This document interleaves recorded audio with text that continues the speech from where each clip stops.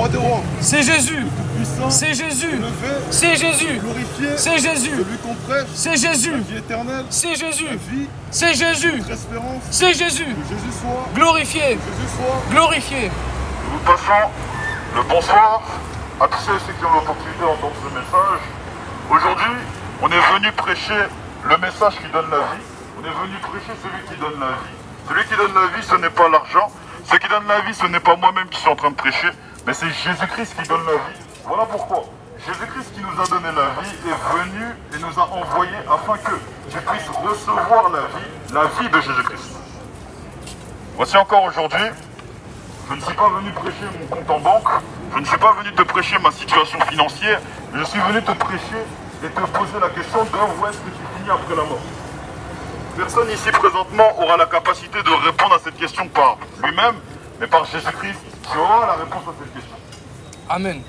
Je suis venu ici pour répondre à cette question en te disant que tu auras cru et tu auras adoré Jésus-Christ sur cette terre, après ton âme, après la mort, c'est la vie éternelle. Par contre, tu auras banni ce Jésus-Christ, le véritable Jésus-Christ de, la révé- de la révélation. Après, pour toi, c'est l'enfer. L'enfer, qui est les temps de feu.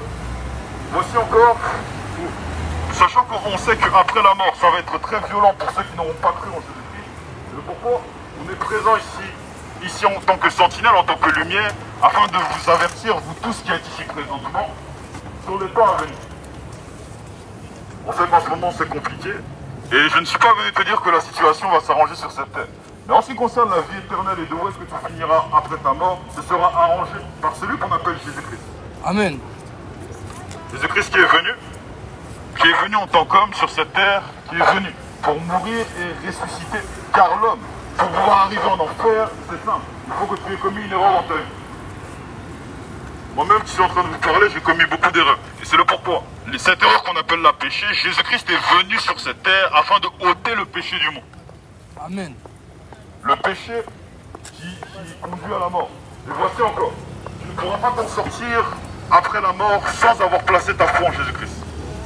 Ce n'est pas par tes bonnes œuvres, ce n'est pas par, par ton bon comportement, ce n'est pas par ta joie de vivre, mais par la foi en Jésus-Christ. Tu auras la capacité, comme lui-même a vaincu la mort, Jésus-Christ lui-même aura la capacité de t'enseigner comment vaincre ce grand ennemi- qui s'appelle la mort.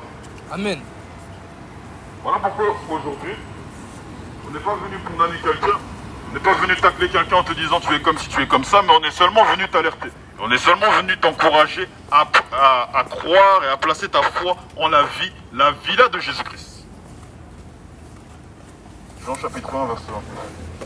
Voici encore, on a vu des personnes qui venaient qui nous disaient que par leurs bonnes œuvres qui sont physiques, ils pourront accéder à la vie éternelle. Je suis venu dire à quelqu'un, que peu importe qui tu étais auparavant, peu importe les mauvaises œuvres que tu as faites, peu importe les bonnes œuvres que tu as faites, ce n'est pas ça qu'on prend en compte pour pouvoir accéder à la vie éternelle. Ce qu'on prend en compte, c'est la foi que tu auras placée en Jésus-Christ. Et le jugement, il est ça. Tu as cru en Jésus-Christ, c'est la vie éternelle. Tu as banni la foi en Jésus-Christ, c'est en paix.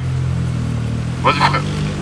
Le lendemain, Le lendemain, il vit Jésus venant, venant à lui. Jean-Baptiste vit Jésus-Christ venant à lui, continue frère. Et il dit, Il dit, Voici l'agneau de Dieu voici Jésus-Christ, l'agneau de Dieu, qui ôte le péché du monde. qui ôte le péché du monde. En d'autres termes, la mort ne sera plus ton partage, tu auras placé ta foi en Jésus. Amen. Parce que le salaire du péché, la condition pour pouvoir euh, aller en enfer, pour pouvoir euh, souffrir éternellement après la mort, c'est d'avoir péché. Mais par Jésus-Christ, Jésus-Christ, l'agneau de Dieu qui ôte le péché du monde, tu auras la capacité de passer de pécheur à citoyen de la vie éternelle. Amen. Voilà pourquoi aujourd'hui, on t'encourage à croire en celui qui s'appelle Jésus-Christ. Frère Jean, chapitre 11, verset 25. Voici encore Jésus-Christ. C'est la solution, c'est le vaccin pour le- ce grand ennemi qui s'appelle la mort. Mais également sur le temps présent, ici, présentement, aujourd'hui, Jésus-Christ a la capacité de te conseiller. Voici encore, on passe tous par des temps compliqués. On a tous des temps qui sont difficiles. Et même si tu places ta foi en Jésus-Christ, tu auras des temps compliqués sur cette terre. Mais Là où tu n'avais pas de coussin, Jésus-Christ aura la capacité d'être ton coussin. Là où justement tu n'avais pas d'appui, Jésus-Christ aura la capacité d'être cet appui-là sur cette terre. Et surtout, Jésus-Christ aura la capacité d'être cet appui-là sur cette terre et également après ta mort. Amen. Vas-y frère. Jésus lui dit, Jésus lui dit, Je suis la résurrection Jésus dit, je suis la résurrection et la vie. et la vie. Celui qui croira en moi Celui qui croira en moi, donc toi qui entends ce, ce message, tu décides de placer ta foi en Jésus-Christ, oui, vivra quand même il serait mort. vivra quand même il serait mort. Amen. Voilà pourquoi ce qu'on fait ici, tout, tout se passe après la mort. On n'est pas venu ici pour pouvoir avoir l'attention, on n'est pas venu ici pour pouvoir être des stars, on n'est pas venu ici pour pouvoir mettre en lumière notre éloquence, mais on est venu pour mettre en lumière celui qui est la lumière, la lumière de Jésus-Christ. Amen. La lumière de Jésus-Christ pour après la mort. Car beaucoup, beaucoup n'ont pas cette- la réponse à cette question de où est-ce qu'ils vont finir après la mort. C'est le pourquoi? On est venu ici pour pouvoir t'éclairer. Mon frère Matthieu 25. Matthieu 25, verset 31. 31 on est venu t'éclairer.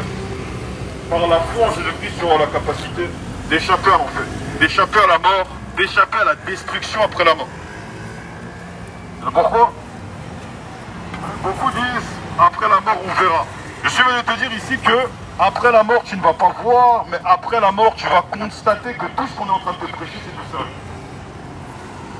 Nous on a vu la gloire de Jésus-Christ, on a témoigné de la puissance de Jésus-Christ, c'est le pourquoi aujourd'hui on n'est pas venu pour euh, prêcher l'invisible, pour prêcher ce qu'on n'a jamais vu, mais on te prêche et on te témoigne de ce qu'on a vécu personnellement avec Jésus-Christ afin que tu puisses échapper dégager les liens de la mort. Amen. Vas-y frère. Lorsque le Fils de l'homme viendra Lorsque Jésus-Christ viendra, viendra, oui, dans sa gloire, dans sa gloire, avec tous les anges, avec tous les anges, il s'assiera sur le trône de sa hein, gloire. vas-y. Toutes les nations seront assemblées devant lui. Toutes les nations à la fin des temps seront assemblées devant Jésus-Christ, continue mon frère. Il séparera les uns d'avec les Il autres. séparera ceux qui auront cru en lui et ceux qui n'auront pas cru en lui, continue. Comme le berger sépare les brebis Comme le berger sépare les brebis, encore continue. avec les boucs. Oui. Et il mettra les brebis à sa droite Il mettra ceux qui auront cru en lui à sa droite. Donc Jésus-Christ mettra ceux qui auront cru en lui à sa droite, continue mon frère. et les boucs à sa gauche. Et ceux qui n'auront pas cru à sa gauche, oui. Alors le roi dira Alors le roi, le Dieu tout-puissant, Jésus-Christ te dira, oui. à ceux qui seront à sa droite À ceux qui auront cru en lui, Venez vous qui êtes bénis de mon Père, Jésus te dira si tu décides de placer ta foi en Jésus-Christ, il te dira, venez vous qui êtes bénis de mon Père, oui. prenez possession du royaume Prenez possession du royaume en d'autres termes de la vie éternelle après la mort par la foi en Jésus-Christ, oui. Qui vous a été préparé dès la fondation du monde. qui vous a été préparé dès la fondation du monde. Amen. C'est le pourquoi ici présentement on n'est pas venu convaincre qui que ce soit. Parce qu'on sait que il y en a qui ne doivent pas croire en Jésus-Christ. Car la parole ici qu'on est venu qu'on est venu lire, il y aura des gens qui décideront de bannir la foi en Jésus-Christ.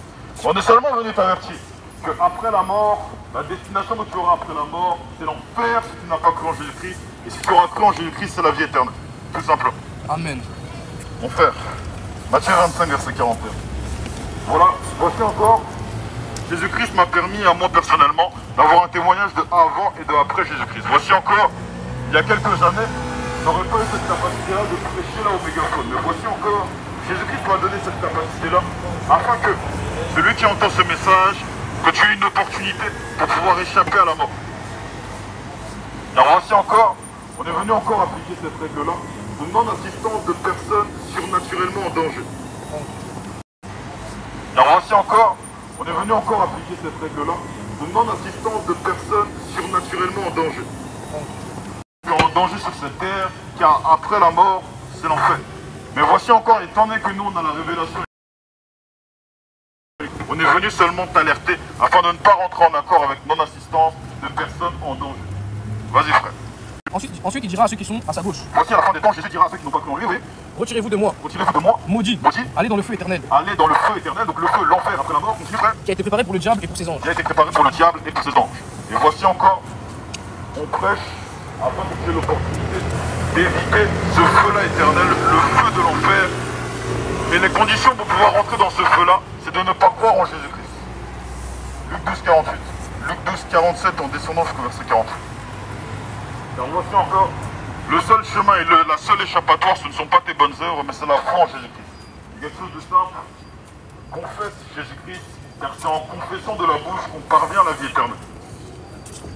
Moi ainsi que mon frère qui sommes présents ici, on a décidé de placer notre foi en Jésus-Christ. C'est Jésus-Christ lui-même qui nous a convaincus. Ce n'est pas un homme qui est venu et qui nous a mis le couteau à la gorge en disant crois en Jésus-Christ sinon tu vas aller en enfer. On nous a prêché et on a cru en ce Jésus-Christ et on a constaté de la gloire et de la puissance de ce Jésus-Christ. Voici encore, aujourd'hui vient le moment des témoignages. On a constaté qui était Jésus-Christ, qu'est-ce qui s'est passé dans nos vies et voici encore. Étant donné qu'on a vécu encore une rencontre particulière avec Jésus-Christ, aujourd'hui on te prêche afin que toi tu aies également cette opportunité-là. Luc 12, 47. Le serviteur qui ayant connu la volonté de son maître Le serviteur qui, ayant connu la, vie- la, la, La volonté. La volonté de son maître. Donc toi qui entends ce message, tu connais la volonté de Dieu. La volonté de Dieu, c'est de croire en Jésus-Christ pour accéder à la vie éternelle. Continue, frère. N'a rien préparé et n'a pas agi. Qui n'a rien préparé, qui n'a pas agi, donc qui s'en fout de ce message. Continue. Selon sa volonté, Hein, Vas-y. sera battu d'un grand nombre de coups. Donc toi qui entends ce message, maintenant que tu sais que c'est Jésus-Christ qui est Dieu et qui est le chemin, la vérité et la vie pour pouvoir accéder à la vie éternelle. Si tu arrives, tu décides de bannir ce message, tu seras banni d'un grand nombre de coups après la mort. Parce que la différence entre quelqu'un qui ne sait pas et quelqu'un qui sait, c'est que celui qui sait décide de ce qu'il fait après qu'il a su. Donc toi maintenant qui sais que Jésus-Christ est Dieu, que c'est la révélation et le chemin pour ton âme, si tu bannis ce message, tu seras banni d'un grand nombre de coups à cause du choix que tu auras fait une fois qu'on a fini de te prêcher ce message. Amen. Et voici encore, Monsieur René te dit, que si tu décides de bannir ce message, c'est pour ta propre perte. Parce que nous, de notre côté, étant donné que Jésus-Christ nous a donné la vie éternelle, ça ne change pas grand-chose qu'on vienne prêcher ou qu'on vienne pas prêcher. Voici encore, on donne seulement l'opportunité afin que tu puisses avoir l'information. Maintenant, une fois que tu as eu l'information, si tu décides de bannir cette information, c'est à tes risques, c'est péril. Continue, frère. Mais celui qui ne l'ayant pas connu Et celui qui n'a pas connu que Jésus-Christ est Dieu, oui, frère, a fait des choses dignes de châtiment, et qui a fait des choses dignes de châtiment, oui, sera battu de peu de coups. sera battu de peu de coups. En d'autres termes, celui qui n'aura jamais entendu Jésus-Christ et qui meurt, c'est l'enfer, mais il sera battu d'un moins grand nombre de coups, car il n'a jamais entendu Jésus-Christ. Toi qui as entendu Jésus-Christ et qui entends Jésus-Christ qui est en train de te parler ici présentement, si tu décides de bannir ce message, c'est à tes risques, c'est péril. Tu seras battu d'un grand nombre de coups. C'est le pourquoi. Pour éviter tout ça, on vient et on te prête l'opportunité. Par exemple, si je sais comment devenir millionnaire, qu'est-ce que je vais faire? Je vais arriver, je vais prêcher tout ça afin que mon entourage puisse être millionnaire. Étant donné que moi je suis millionnaire sur le plan spirituel par la foi en Jésus-Christ, je prêche afin qu'un maximum de personnes puissent être millionnaires sur le plan spirituel en ayant reçu la vie éternelle par ce Jésus-Christ. Amen. Voilà pourquoi ici, on est, on est venu. Luc 11, verset 9. On est venu. On n'est pas venu ici pour euh, donner de l'argent. On n'est pas venu ici pour euh, amadouer le peuple, ni même vendre du rêve.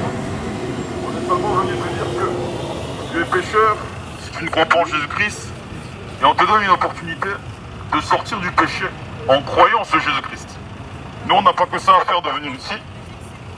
Mais voici encore, tellement on prend ce sujet-là de Jésus-Christ au sérieux, car lui-même Jésus-Christ nous a pris au sérieux, qu'aujourd'hui on te prend au sérieux, afin que toi également tu puisses être pris au sérieux par Jésus-Christ, et que la vie éternelle dans ta vie puisse être également du sérieux. Amen. Vas-y frère. Et moi je vous le dis, Et Jésus nous le dit, demandez et l'on vous donnera. hein, demandez et on vous donnera, donc si tu demandes de recevoir la vie éternelle par ce Jésus-Christ, Jésus-Christ va te donner à cause de ce qu'il a déclaré, continue frère. Cherchez et vous, trou- et vous trouverez. Aujourd'hui, on t'encourage à chercher. Et encore. Parce que tu n'auras pas vraiment à chercher parce que Jésus-Christ lui-même se découvre à toi qui entend ce message. Amen. Vas-y, frère. Frappez et l'on vous ouvrira.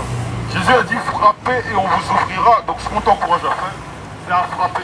À frapper à la porte de ce Jésus. Jésus-Christ, c'est simple. Tu arrives, tu viens. Une fois que tu as entendu ce Jésus-Christ, tu frappes. Et Jésus-Christ a dit celui qui frappe, on ouvrira la porte à celui qui frappe. Mon frère, Marc 16, verset, verset, verset 15 ans. Descendre, Marc 16, 16. Marc 16, 7. Voici encore Jésus-Christ, c'est simple. On t'encourage à placer ta foi en Jésus-Christ et placer sa foi en Jésus-Christ, c'est frapper à la porte. Et comme Jésus-Christ a dit, frappez, on vous ouvrira. Si tu cherches la vie éternelle en venant à ce Jésus-Christ, à cause de ce qu'il a déclaré, il ouvrira. Il ouvrira la porte au royaume des cieux, en d'autres termes, la vie éternelle après la mort. Amen. Vas-y frère. Celui qui croira Jésus a dit, celui qui croira, donc toi qui entends ce message, si tu décides de croire en Jésus-Christ, oui, et qui sera baptisé qui sera baptisé, sera sauvé. sera sauvé. Continue frère. Mais celui qui ne croira pas Donc, celui qui décide ici de ne pas croire en ce message de la vie éternelle par Jésus-Christ, oui, sera condamné. sera condamné. Voilà pourquoi aujourd'hui, nous avons une opportunité pour pouvoir sortir de la condamnation.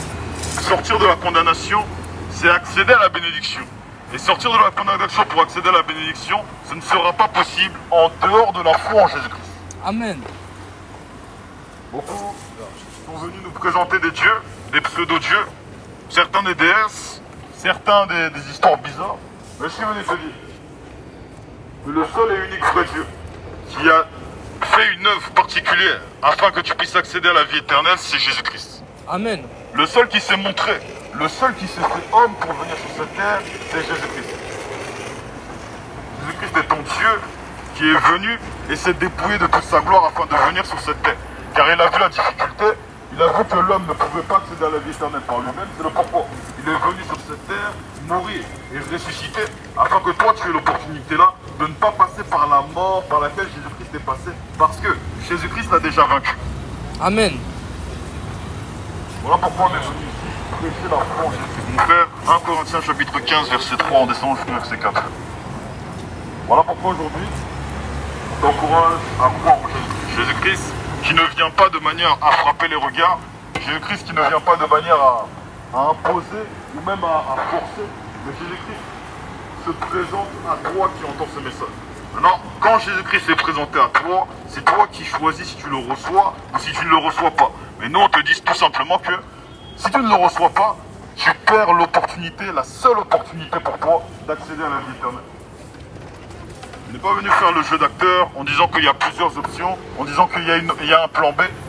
Le plan A, le plan B, le plan C en descendant jusqu'au descend, au, au Z, c'est Jésus-Christ. Vas-y frère. Si l'œuvre de quelqu'un est consumée, Si l'œuvre de quelqu'un est consumée, il perdra sa récompense. vas-y encore. Pour lui, il sera sauvé, Oui, donc pour lui il sera sauvé, continue frère. mais comme au travers du feu. Ah, vas-y encore au verset 4. Oui, Ne savez-vous pas que vous êtes le temple de Dieu? Tu n'es pas dans le bon verset. hein. 1 Corinthiens chapitre 15, verset 3 4. Amen. Voilà encore, on t'encourage à croire en Jésus-Christ. Le chemin, la vérité. Et Jésus-Christ, voici encore, c'est l'opportunité pour toi, c'est la clé pour pouvoir accéder au chemin de la vie éternelle. Beaucoup nous ont prêché que non. C'est par tes bonnes œuvres, c'est parce que tu as, parce que tu as tué quelqu'un, parce que tu as pété un plomb, tu as frappé une personne, tu iras en enfer, c'est faux. C'est seulement ce en quoi tu crois qui peut t'envoyer à l'abattoir. Si tu, peu importe la doctrine que tu as, si tu crois en dehors de Jésus-Christ, c'est l'enfer. Vas-y frère. C'est bien 3 4. Ouais. Je vous ai enseigné avant tout, Donc aujourd'hui on t'enseigne avant tout, oui, comme je l'avais aussi reçu, comme nous-mêmes on, on l'a reçu, la foi en Jésus-Christ, continue frère. que Christ est mort pour nos péchés, Que Jésus-Christ est mort pour nos péchés, à tous ceux et ceux qui ont cru en lui, oui frère. selon les Écritures, Selon les Écritures, continue encore. qu'il a été enseveli Jésus-Christ a été enseveli et Oui. qu'il est ressuscité et Jésus-Christ est ressuscité le troisième jour, le troisième jour selon les Écritures. selon les Écritures. Voilà ce qu'aujourd'hui on prêche, c'est que Jésus-Christ, il est passé par une mort particulière, il est mort, il a souffert à la croix, il s'est fait battre, il s'est fait frapper, il est passé par la mort physique, mais aussi la mort spirituelle, afin que, toi qui entends ce message, tu es seulement à passer par la mort physique, mais sur le plan spirituel, c'est la vie qui t'est réservée. Amen. Voilà ce qu'on est venu apporter. Et ce message-là vaut mieux même qu'un milliard de dollars. Amen. Parce que le message là qu'on t'apporte ici, un million de dollars c'est bien, un milliard de dollars c'est bien pour le temps présent, mais après la mort, tout cet argent-là finit Alors que le message qu'on t'apporte ici, c'est un message qui va te servir pour le temps actuel, mais également pour l'éternité. Voilà pourquoi croire en Jésus-Christ, c'est bien mieux même que de recevoir un milliard de dollars. Qu'un milliard de dollars c'est bien, pour plusieurs années c'est bien, mais pour, pour finir ensuite après en enfer et souffrir éternellement, ça ne sert à rien. Pourquoi aujourd'hui, mon frère Jean 14, euh, verset 6, pourquoi aujourd'hui, étant que j'ai cette assurance-là de qui est Jésus-Christ, étant que j'ai cette assurance-là que Jésus-Christ c'est la vérité, c'est le pourquoi je te prêche ce Jésus-Christ avec la- l'assurance, ce Jésus-Christ-là qui est la vérité, ce Jésus-Christ-là qui est la lumière, ce Jésus-Christ-là qui est l'éclairage, pas, pas seulement pour le temps actuel, mais également pour après la mort. Voilà pourquoi s'il y a quelque chose que tu dois retenir ici, c'est Jésus-Christ. Mon frère, Jean 14, 6.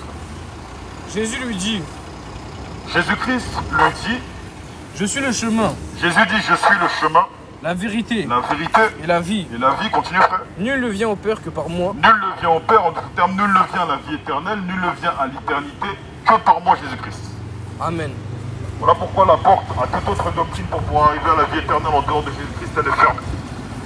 Ah bah, On déracine les autres chemins en dehors de Jésus-Christ. on déracine. Le seul chemin pour arriver à la foi en Jésus-Christ, c'est la foi en Jésus-Christ. Le seul chemin pour arriver à la vie éternelle, c'est la foi en Jésus-Christ. Amen. Et Voici encore Jésus-Christ a tenu une déclaration spéciale, mon frère. Jean 14, verset 21. Ça dit, je vous donne la peine. Si c'est pas le 21, c'est le 27.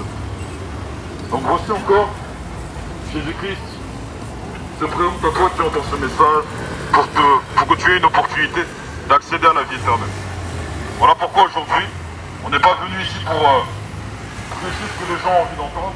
Parce qu'on sait que prêcher Jésus-Christ, ça fait mal. Parce que étant donné que Jésus-Christ, c'est la vérité, il n'y a que la vérité qui blesse. C'est le pourquoi. Si tu as mal, c'est tout simplement parce que tu confirmes que Jésus-Christ, c'est la vérité qui blesse. Amen. Vas-y, frère. Je vous laisse la paix. Jésus a tenu une déclaration et a dit Je vous laisse la paix. Donc, tous ceux et ceux qui croiront en Jésus-Christ, je vous laisse la paix. Oui? Je vous donne ma paix. Jésus a dit Je vous donne ma paix. Oui? Je ne vous donne pas comme le monde donne. Je ne vous donne pas comme le monde donne. Donc, le boîte de nuit peut t'a- peut t'apporter une paix. le- le- la prostitution peut t'apporter une paix. Mais pour finir, ensuite, après, en enfer. Continue, frère. Que votre cœur ne se trouble point. Que votre cœur ne se trouble point. Donc, ça, c'est réservé pour tous ceux et ceux qui croiront en Jésus-Christ. La paix présentement sur cette terre, mais surtout la paix également pour après la mort. Je pourrais te donner un bon conseil pour la vie présente, de par l'expérience que j'ai vécue. Je pourrais te, te prêcher beaucoup de choses, je pourrais te sortir beaucoup de choses. En ce qui concerne de la vie après la mort, le seul conseil que je peux te donner, c'est de placer ta foi en Jésus-Christ. Amen. J'ai pas toujours été de ceux-là qui croyaient en Jésus-Christ, j'ai croyé en d'autres doctrines et je peux t'assurer que les autres doctrines, à côté de Jésus-Christ, ça ne vaut rien du tout. Voici encore le Jésus-Christ qu'on prêche. Ce n'est pas le Jésus-Christ qui circule ici présentement. Il y a beaucoup de Jésus qui circulent aujourd'hui, mais le seul Jésus-Christ qu'on te prêche, c'est le Jésus-Christ qui a la définition même de l'écriture. Amen. Ne te prêche pas un, prêche pas un Jésus-Christ catholique? On déracine le catholicisme. On déracine. On ne prêche pas un Jésus-Christ protestant, ni même réveillé, ni même évangélique, ni même celui que- qui circule. On te prêche le Jésus-Christ qui donne la vie éternelle. Amen. On te prêche le Jésus-Christ qui est le centre de l'attention lui-même. Amen. Aujourd'hui, on voit des doctrines qui ont circulé, des doctrines comme euh, l'orthodoxie, euh, comme le, le catholicisme, des doctrines qui vont t'envoyer à l'abattoir. Mais nous, ce qu'on te prêche ici présentement, c'est le Jésus-Christ. Jésus-Christ lui-même, le Dieu Tout-Puissant et le seul et unique. S'il y a quelqu'un qu'il faut retenir, ce n'est pas Marie, ce n'est pas Bouddha, ce n'est pas Allah, mais c'est Jésus-Christ. Luc chapitre 1, le verset 46 à 47. On va prendre ça aussi. Voilà pourquoi aujourd'hui, Bref, Christ est Christ crucifié. Jésus-Christ qui lui-même a permis de tuer notre ancien nous, parce que notre ancien nous, c'était bien pour pouvoir pouvoir partir en enfer, pour pouvoir accéder à la vie éternelle. Jésus-Christ nous a renouvelés. Jésus-Christ nous a permis d'être renouvelés, d'être transformés par le renouvellement de l'intelligence, le renouvellement de la vie éternelle. Vas-y frère. Et Marie dit Donc ça c'est pour les catholiques qui nous disent que Marie est la mère de Dieu, qu'elle est sainte. Sainte Marie, mère de Dieu. Donc apparemment, donc d'après les catholiques, Marie est sainte. Donc reprends le verset frère. Oui. Et Marie dit Mon âme mon âme exalte le Seigneur. exalte le Seigneur Jésus-Christ, le Dieu Tout-Puissant, oui. Et mon esprit se réjouit Et mon esprit se réjouit, continue mon frère, en Dieu mon Sauveur. en Dieu, mon sauveur. Amen. Donc bon, maintenant les catholiques qui sont venus pour nous dire que Marie est la mère de Dieu et qu'elle est montée au ciel, on voit ici que c'est faux. Parce que le seul sauveur qu'il faut retenir, c'est Jésus-Christ. Si Marie elle-même a eu besoin d'un sauveur, comment elle peut être ça Ça, il faut aller poser la question au prêtre. Mon frère, Jean 4, 39 à 42, 39 et 42. Voilà, on va finir par là. Voici encore on a laissé la timidité, on a laissé la flemme pour te prêcher le message qui va transformer ta vie. Le message qui va transformer ta vie actuelle, mais surtout le message qui va t'apporter la vie après la mort, le message de la foi en Jésus-Christ. Voici encore. On n'est pas venu ici faire les beaux yeux ou t'apporter de l'argent. Si tu n'auras pas cru en Jésus-Christ, si tu n'auras pas adoré Jésus-Christ, après la fin c'est l'enfer. Mon frère, Jean 4, verset 39 d'abord. Plusieurs Samaritains de cette ville Plusieurs Samaritains de cette ville, continue frère, crurent en Jésus à cause de cette déclaration crurent en Jésus à cause de ces déclarations. Mon frère, vas-y. formelle de la femme. Formel de la femme, continue. Il m'a dit tout ce que j'ai fait. Descends direct au verset 42. Vas-y. Oui. Et il disait à la femme, Il disait à la femme qui prêchait et qui encourageait, qui encourageait les Samaritains à croire en Jésus-Christ, continue mon frère. Ce n'est plus à cause de ce que tu as dit Voici la conclusion de ce qui se passe lorsque tu crois en Jésus-Christ. Ce n'est plus à cause de ce que nous nous disons ici que tu crois en Jésus-Christ. Continue frère. que nous croyons, Ah, ah, vas-y. car nous l'avons entendu Car aujourd'hui, Jésus-Christ te donne une opportunité. Aujourd'hui, ce n'est pas moi que tu entends, mais c'est Jésus-Christ qui m'utilise que tu entends. C'est Jésus-Christ que tu entends. Voici encore. Jésus-Christ qui t'appelle, je t'encourage à répondre fav- favorablement à l'appel de Jésus-Christ. Vas-y frère, continue. nous-mêmes, Oui, vas-y, continue frère. et, et nous savons qu'il est vraiment le Seigneur, le Sauveur du monde. Et nous savons que Jésus-Christ est réellement le sauveur du monde. Donc s'il y a un sauveur qu'il faut retenir, ce n'est pas Allah, ce n'est pas Bouddha, ce n'est pas Mohamed, ce n'est pas les témoins de Jéhovah, ce n'est même pas Marie, mais c'est Jésus-Christ lui-même, le seul et unique sauveur du monde. Amen. Pour après la mort, c'est Jésus-Christ. Pour, présent, pour présentement sur cette terre, c'est Jésus-Christ aussi. On voit ici présentement qu'il y a énormément de guerres, des bruits de guerre aussi. Et voici encore la seule so- solution pour toi, la seule solution pour ta vie, c'est de placer ta foi en Jésus-Christ. Frère, c'est Matthieu 24, verra après la guerre. À tous les coups, la mort peut te frapper, la mort n'a pas de lieu de rendez-vous, la mort n'a pas une date précise. On va dire non, c'était prévu que tu devais mourir à ce moment-là. La mort peut frapper à n'importe quel instant. Quand la mort va frapper, tes entreprises là te serviront à quoi? Tout ce que tu connais ici sur cette terre te servira à quoi? Qu'est-ce que tu vas retenir après, cette vie-là? Où est-ce que tu vas finir? Bah voici encore. C'est à ça que sert ce message-là. C'est à t'alerter sur le temps à En croyant en Jésus-Christ, tu auras cette sécurité-là pour après la mort. Vas-y mon frère. Vous entendrez parler de guerre et de bruit de guerre. Jésus lui-même a tenu une déclaration. C'est Matthieu 24 combien moi Matthieu 24, c'est ça. ok. Donc Jésus a tenu une déclaration, il a dit, vous entendrez parler de guerre et de bruit de guerre. Oui, continue frère. Gardez-vous d'être troublés, Donc ça c'est pour ceux qui auront cru en Jésus-Christ. Jésus lui-même a dit, gardez-vous d'être troublés par ces guerres et de bruits de guerre. Oui mon frère. car il faut que ces choses arrivent. Car il faut que ces choses arrivent. Les guerres et les bruits de guerre, il faut que ces choses arrivent. Mais pour ceux qui auront cru en Jésus-Christ, on n'a pas à être troublé. Parce que Jésus-Christ lui-même a déclaré ça. Et si ce Jésus-Christ-là a déclaré qu'il donnera également la vie éternelle, il a déclaré qu'il y aura des guerres et des bruits de guerre. La chose est arrivée. Donc si Jésus-Christ nous dit qu'il me donne la vie éternelle et ce qu'il dit arrive, ce qu'il a déclaré concernant la vie éternelle va également arriver. Amen. Voilà pourquoi je ne t'exhorte pas ici à douter. Je t'exhorte à croire en Jésus-Christ. Car le Jésus lui-même qui, qu'on te prêche ici, c'est le Jésus-Christ qui parle et la chose arrive derrière. Qui aujourd'hui peut dire qu'il n'y a pas de guerre et de bruit de guerre? C'est Jésus-Christ lui-même qui a déclaré ça. Et voici encore, car Jésus-Christ est le Dieu Tout-Puissant, il a déclaré une chose et la chose arrive. Jésus a dit, je vous donnerai la vie éternelle. Donc si tu crois en Jésus-Christ, Jésus-Christ te donnera la vie éternelle, car tout ce qu'il dit arrive. Amen.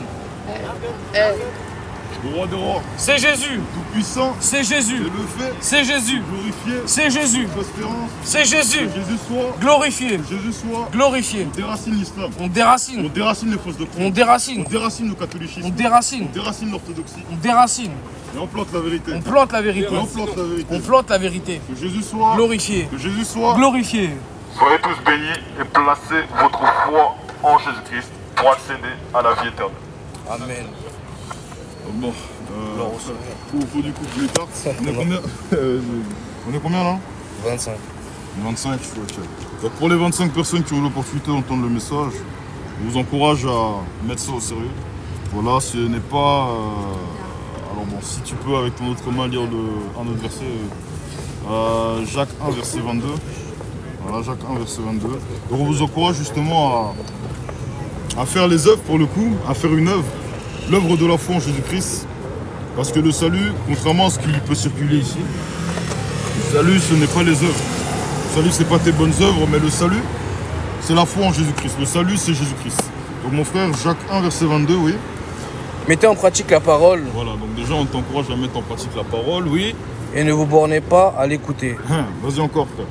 en vous trompant vous-même par de faux raisonnements. Ok. Donc déjà, on t'encourage à ne pas placer les faux raisonnements Donc les faux raisonnements, bon, les faux, raisonnements, c'est les fausses doctrines qui circulent. Donc on t'encourage pas à placer les faux raisonnements au détriment de la parole. Maintenant que tu as entendu la parole, quelle sera ta réaction après que tu as entendu la parole?